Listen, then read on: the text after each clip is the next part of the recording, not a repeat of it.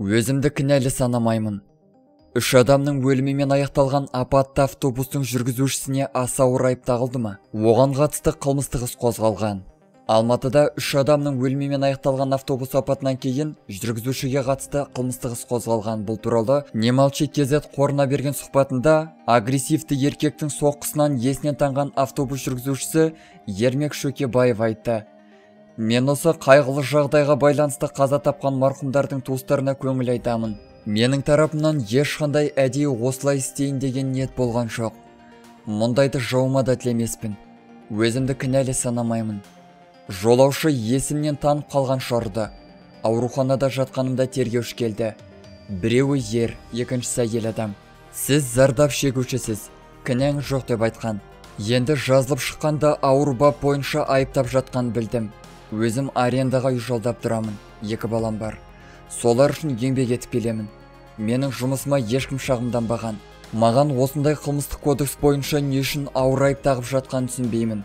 Егер соққы алмағанымда мұндай жол апатына жол бермес едім. Әділдік болады деп үміттенемін дейді зардап шегуші ермек шөкебаева. Желі қолданушылары оны жолаушымен неге ұрысқан деп жатыр. Алайда ол ұрыспағанын айтып отыр.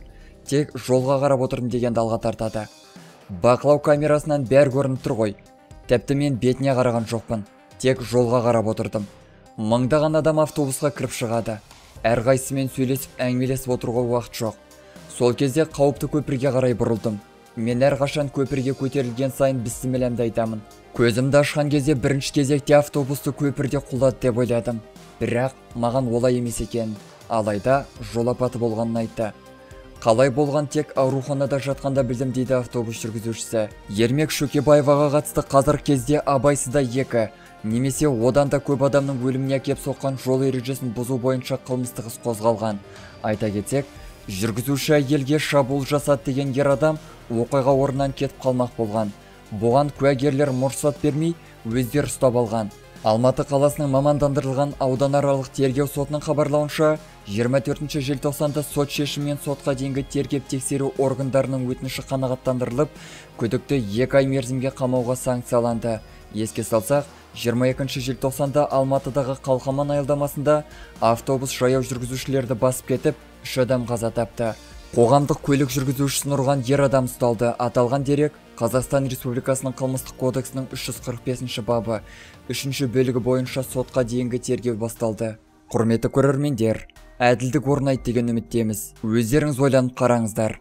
Рөлде отырған адамның басынан оңдырмай ұрса қалай болады? Әрине есінен танып қалады. Дәл осындай жағдайға жеткізген агрессивті ер адамды жазаға тарту керек деп санаймын. Автобус кез келген жерден тоқтайтын тоқылдағы емес. Автобус аялдамалары не үшін салынды? Әрине тек сол жерге автобус тоқтау үшін. Бұған барлық адамдар бағыну керек.